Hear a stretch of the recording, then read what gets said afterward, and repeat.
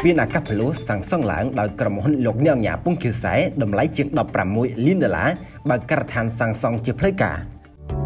សេវាកម្មជួលរថយន្តគ្រប់ប្រភេទទាំងប្រទេសកម្ពុជាថៃនិងវៀតណាមសេវាកម្មទូកទំនើបល្បឿនលឿនទៅកាន់កោះរងសន្លឹមនិងកោះស្ដេច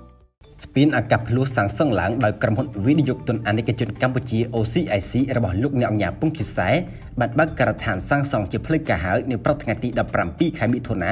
ក្រោមអធិបតីភាពសម្ដេចធិបតីហ៊ុនម៉ាណែតនាយករដ្ឋមន្ត្រីនៃកម្ពុជា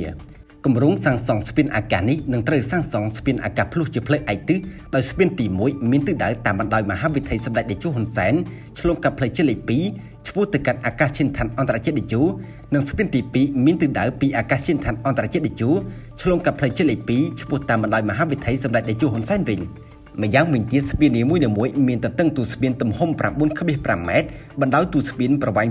281ម៉ែត្រ និងស្ថាបនាផ្លូវតូផ្ទះក្បាលស្ពានផ្នែកខាងជើងប្រវែង180ម៉ែត្រនិងផ្នែកខាងត្បូងប្រវែង161ម៉ែត្រសរុបបណ្ដោយស្ពានមានប្រវែង622ម៉ែត្រហើយកន្លងផ្លូវរត់របស់ទូស្ពាននីមួយៗមានចំនួន3កន្លងសម្រាប់ចរាចរណ៍ឯកទេស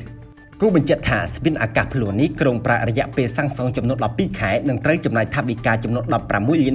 2.500ដុល្លារដែលបានមកពីការបង្វែរកញ្ចប់ថវិកាពីគម្រោងសាងសង់ស្ពានអាកាសគង់សំអល់និងមូលនិធិអភិវឌ្ឍកោះនរា